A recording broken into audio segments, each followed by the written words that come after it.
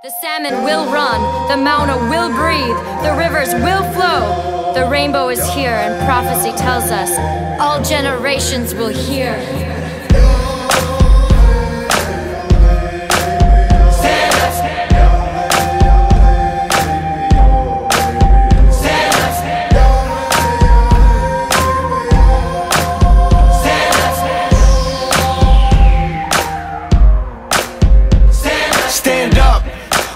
First Nations and our people that have been living here for thousands of years. Stand up.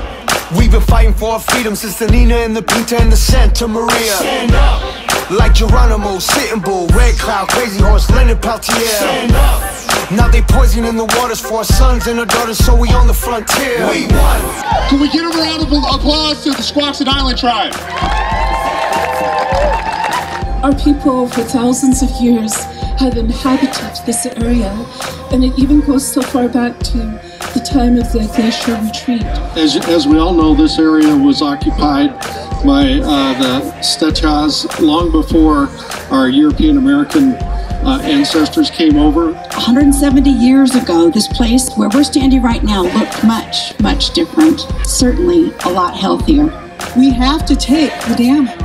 That's the only way to solve the problem. We need to remove the damn dam, right? And get our damn salmon back. We, we do all these events we can. We're here to teach our youth. We're here to honor our ancestors.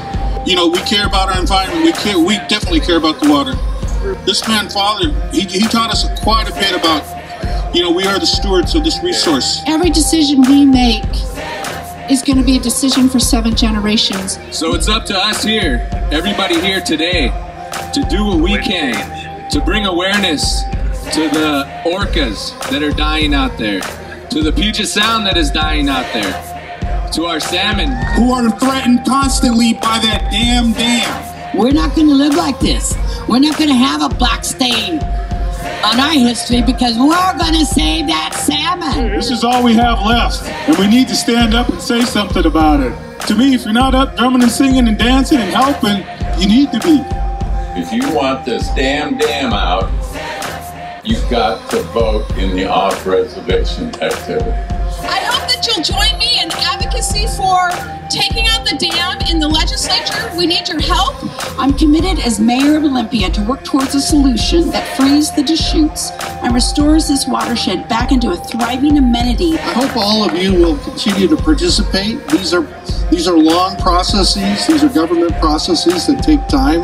And we absolutely have to uh, consider and honor treaty rights in that process. All the people in the state of Washington coming together uh, to bring awareness towards the different issues we have out there that are affecting our environment.